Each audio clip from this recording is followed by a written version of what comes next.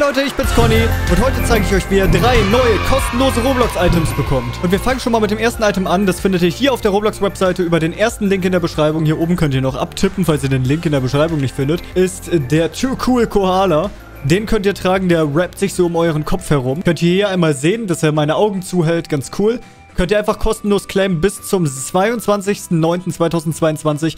Danach gibt es das Item nicht mehr. Vielleicht geht es dann auch irgendwann limited. Aber wenn es limited geht, geht nicht davon aus, dass es super teuer wird, weil das ist ja ein kostenloses Item. Wenn die limited gehen, dann enden die genauso wie zum Beispiel das Ding hier mit 4 Millionen Ownern. Für die nächsten beiden Items gehe ich auf meinen zweiten Account, weil ich den mit meinem Hauptaccount schon habe. Da gebe ich dann oben in die Suchleiste ein Tag Quest oder ihr klickt auf den zweiten Link in der Videobeschreibung. Und dann kommt ihr zu dem Spiel Welcome to TechQuest bei Computer History Museum. Da könnt ihr dann einfach beitreten und könnt ganze zwei kostenlose Items abgraben. Das erste Item ist super einfach. Also erstmal gehen wir hier ins Spiel rein, dann lädt mal wieder alles sehr lange. Dann gibt es ja auch irgendwelche Daily äh, Sachen, die ihr einsammeln könnt, könnt ihr auf Accept klicken. So, für das erste kostenlose Item, das ist so eine Kette, die werdet ihr, werde ich euch dann gleich zeigen. Für die müsst ihr dann einfach nur zum Ocean gehen, heading to the ocean, und dann springt ihr ins Wasser rein. Und wenn ihr eine gewisse Zeit im oder unter Wasser verbracht habt, dann kriegt ihr automatisch ein Achievement und mit dem Achievement dann auch ein neues kostenloses Item. Die meisten Leute schwimmen nach da hinten, weil irgendein YouTuber gesagt hat, man muss unbedingt nach da hinten schwimmen.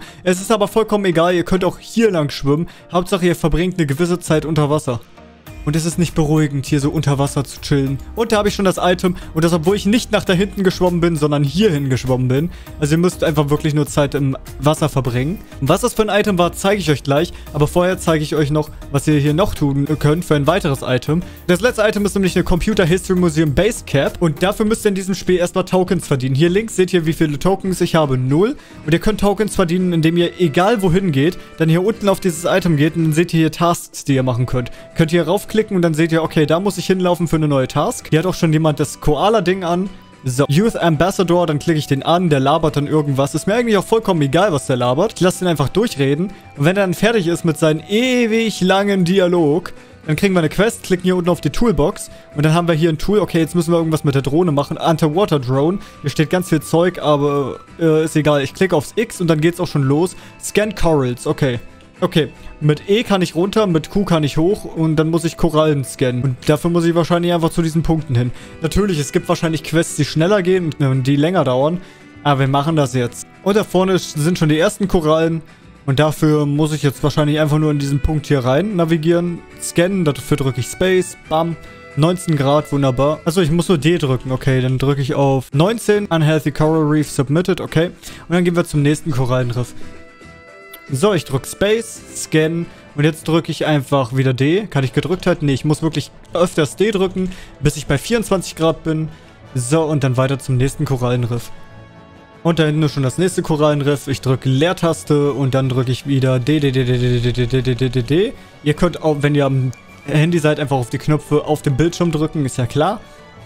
Und weiter geht's zum vorletzten Korallenriff. Wo ist denn das letzte? Oh Mensch, ich hätte ganz links anfangen sollen. Egal. Dann kann ich wenigstens die wunderschöne Unterwasserwelt begutachten. Das machen viele Roblox-Spiele nicht. Ganz viele Roblox-Spiele machen halt Wasser ins Spiel rein, aber unter Wasser ist einfach nichts. Gar nichts designt. Richtig schlimm eigentlich. Naja, ich gehe jetzt zum letzten Ding hin. Guck mal, wie ich da die Namen von den Leuten sehe, weil mein Charakter da hinten steht.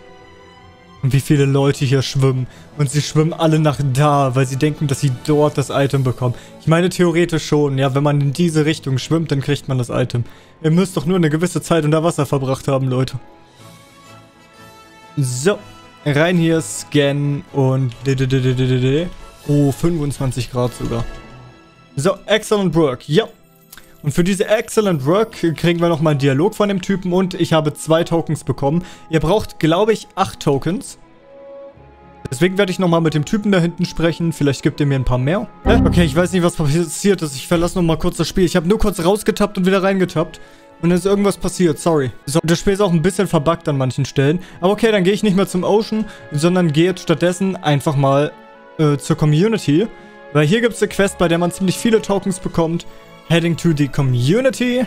So, und da vorne stehen auch schon einige Leute bei dem Typen. Wir gehen einfach zu ihm hin, quatschen ihn an. Kann ich gerade noch nicht machen, weil mein Charakter noch nicht geladen ist. Alter, wo ist mein Charakter? Please. Okay, jetzt ist mein Charakter da. Jetzt muss ich nur das Proximity Prompt mit ihm kriegen und dann einmal E drücken. So, dann habe ich mit ihm gesprochen. Busy Traffic Light, bla bla bla. Äh, Autos machen Abgase, bla bla bla. Und ich muss die Missionen verringern. Wir klicken wieder auf die Toolbox, haben jetzt hier das andere Gerät. Da steht irgendein Tutorial, ist auch egal. Wir müssen die Emissionen hier nach unten bekommen, deswegen klicke ich nach unten. Hier ging es nach unten, okay.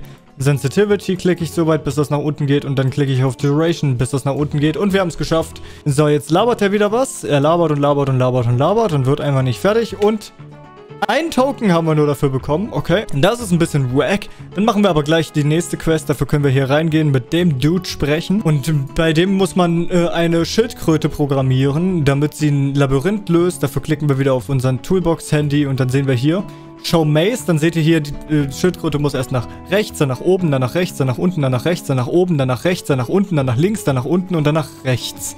Und genau das müsst ihr hier eingeben. Das bedeutet erstmal nach rechts, dann nach oben, dann nach rechts, dann nach oben, muss ich ja mal nachgucken. Rechts, oben, rechts, unten, okay. Dann wieder rechts und oben, dann wieder rechts und unten. Dann einmal nach links und nach unten. So, hier seht ihr dann die Lösung. Rechts oben, rechts unten, rechts oben, rechts unten, links unten, rechts. Und dann klickt ihr einfach auf Run Commands und dann läuft die Schildkröte den Pfad, den ihr einprogrammiert habt, erst nach rechts. Dann dreht sie sich, dann geht sie nach oben, dann dreht sie sich, dann nach rechts, dann dreht sie sich wieder. Dann geht sie nach unten, dann dreht sie sich wieder, dann nach rechts, dann dreht sie sich wieder, dann nach oben, dann dreht sie sich wieder, dann nach rechts, dann dreht sie sich noch einmal im Kreis und geht wieder nach unten und dann dreht sie sich noch einmal im Kreis, dann nach links, dann dreht sie sich nochmal, dann nach unten und dann geht sie ins Ziel nach rechts. Ich hoffe, ihr habt es verstanden. Jetzt labert er wieder, bla bla bla. Wunderbar, gut gemacht. Yay, du bist ein echter Programmierer. Ihr müsst mal links klicken oder halt drauf tippen, damit er weiter labert. Und ich habe elf Tokens. Das bedeutet, ich habe echt viele Tokens dafür bekommen. Kann jetzt hier auf dieses Symbol hier klicken, um wieder nach Hause zu kommen. Ins Computer History Museum. Und angekommen im Computer History Museum müsst ihr dann nur noch zu diesem Automaten hier rechts gehen. Nicht der da links, sondern der hier rechts. Und kauft euch ein Haustier. Ich kaufe mir hier diesen Robohund. So, und, und kriege hier unten das nächste Abzeichen.